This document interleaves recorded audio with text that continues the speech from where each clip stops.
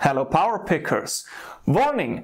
If you are searching for a good guitar adjustment video, then this one is definitely not the right one for you because in this video I want to see if it's possible to break the guitar neck by over loosen or over tightening the truss rod. Oh yeah, you hear the cracking noise? Oh! Oh my god, I don't want to go further, but let's give it another 90 degrees, come on.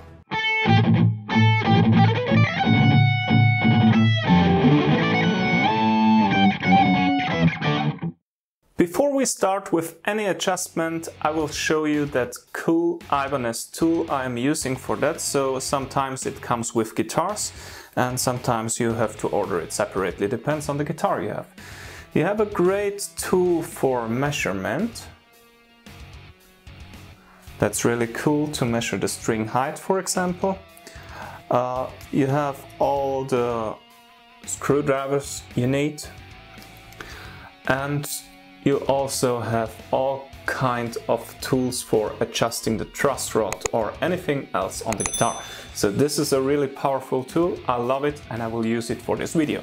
Since there are so many different guitar brands and factories, there are a lot of ways to assess the uh, truss rod. So for example, on the Ibanez J Custom, you have instant assess over here. You need a special tool for it. Uh, that's a great one.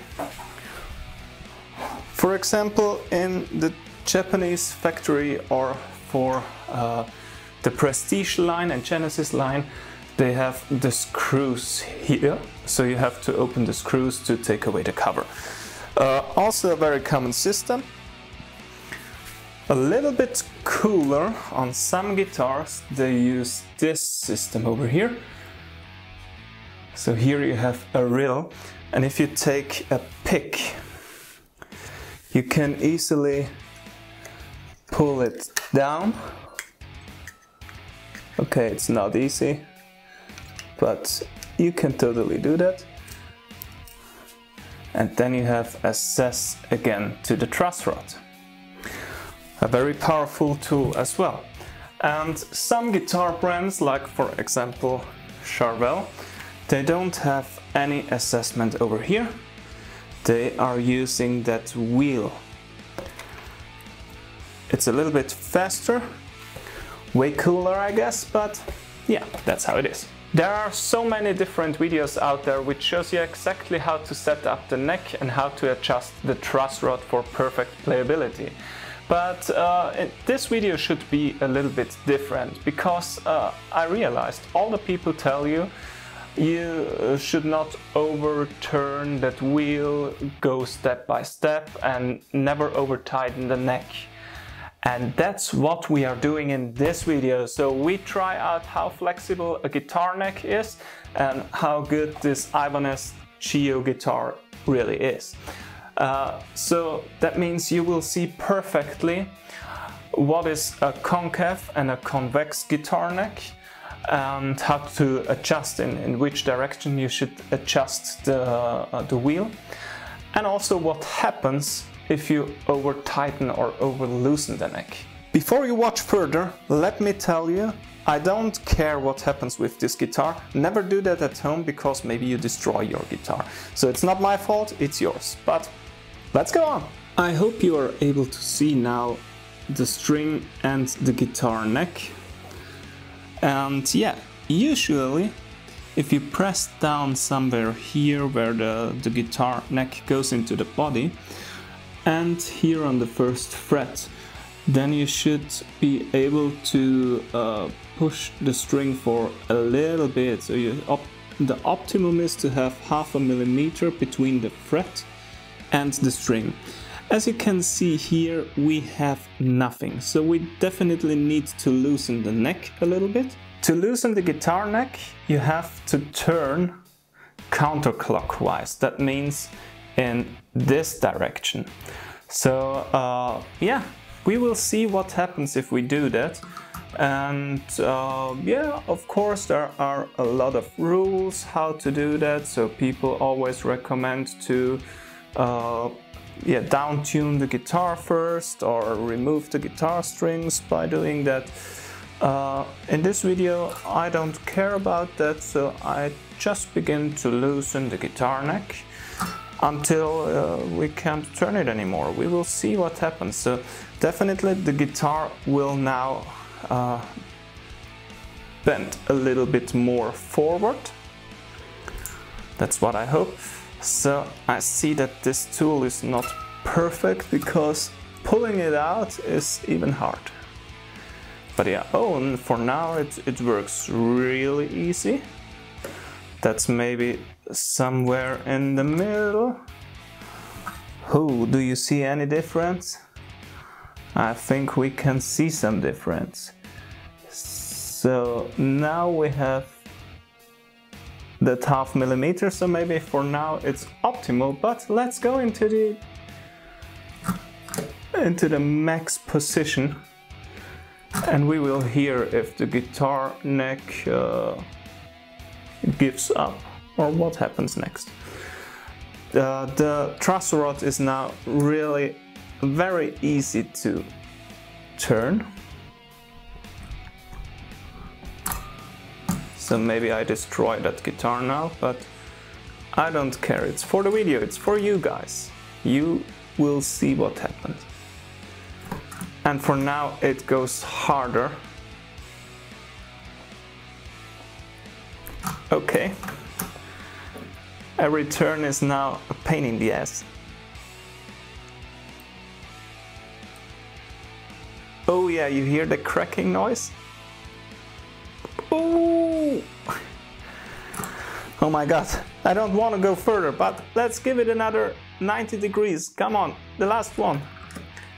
You will hear it. Listen.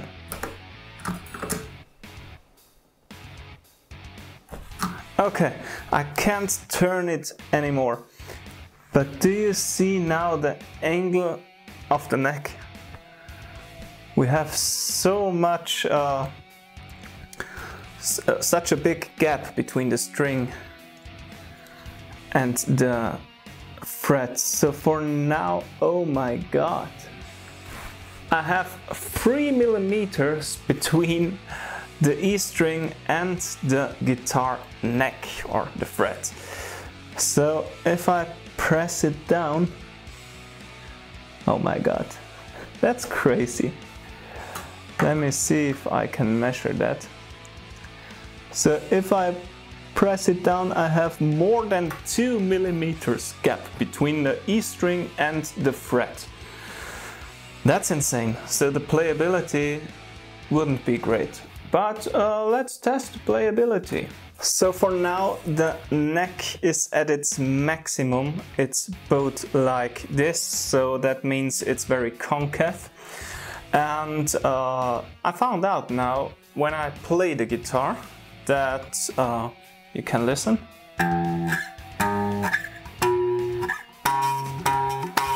From the 8th fret higher you have fret buzz. The higher you go the more it is and that's natural because uh, in this area here we have a hole. That means if you press down the string over here it will touch the frets over here. So that's not the optimum and damn it looks pretty bone to be honest. Now let's find out what happens if you over tighten the fretboard. So for now we have a big gap between the strings and uh, the guitar neck. It's bended very much forward. So we want the neck to bend backward a little bit more. That means we have to go clockwise. So in this case, I'm going back to the right side. So we have, uh, let me do away that string over here and this one over here to have more space. So I already done 90 degrees. 90 more are 180, 270, 360 degrees. So that was almost one complete turnaround. So now I have one and a half and for now it already begins to be a little bit harder. All right, I'm almost on two complete turnarounds. Whoa, all right. Looks completely different now. Let's go further. Oh my God, that's hard. Let's over tighten it. Oh my God. That's what you definitely should not do at home because that feels so weird. Maybe I destroy it. oh my god. That's pretty tight. So the more we turn, the tighter it is. And almost three turnarounds now. And look what happens with the guitar. Do you see that? That's crazy. Man, that's crazy. All right, let's make the test. So if I press here and here, nothing. No gap. No gap between the fret and the string. So uh, it doesn't make sense to measure it because we are on zero millimeters on the little E string as well. Yeah, that's what happens if you over tighten it.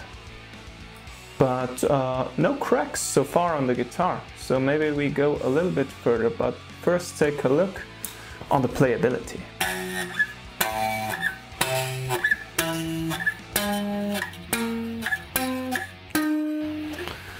Fret buzz is almost everywhere. So maybe here around the, the 12th fret is the best, but uh, that's pretty natural because if you hold the guitar like this, then now when it's over tightened, you have a little back in here, so it's convex. And uh, that means that, um, yeah, of course, only here, so when you have that back, only on the top of it, you will hear no string buzz. But here, uh, yeah, it's logic because here the neck goes upward a little bit. Um, yeah, that's cool, but not enough. Let's go a little bit further. Let's tighten it even more. I want to see what happens. Oh my god. Sorry, little guitar, but I don't care. Or even I care. We will see. Okay. All right it's not possible to turn it anymore. That's it. We're on complete tightened neck. So, uh, yeah. As you can see, it's possible to adjust a neck from... Uh, so we, we are talking about the gap between the string and the fret. It's possible to set up the neck from 0 millimeters to two and a half millimeters. And that's almost three complete turnarounds. That's great. Since this neck is over tightened now, I want to bring it in an optimal playing position because the guitar uh, doesn't show any cracks or something. So uh, yeah, I will loosen the neck to the position I like then I will tune it and set it up the best way for me. And yeah, the best way, it's, it's different for everyone, but I recommend to have a small little gap, so maybe half a millimeter between the fret and the string. Alright guys, I gave my best but it was not possible to crack the guitar neck by uh, over tighten or over loosening the truss rod. Which is good because that takes away the fear of uh, breaking the guitar by not knowing what you're doing. Uh, so my tip is if you are adjusting the truss rod and it's really hard to turn it, then you should stop and rethink what you're doing If you like this extreme experiment with the guitar and you like also Shrek guitar, then maybe you should subscribe my channel and click the bell to not miss my next videos.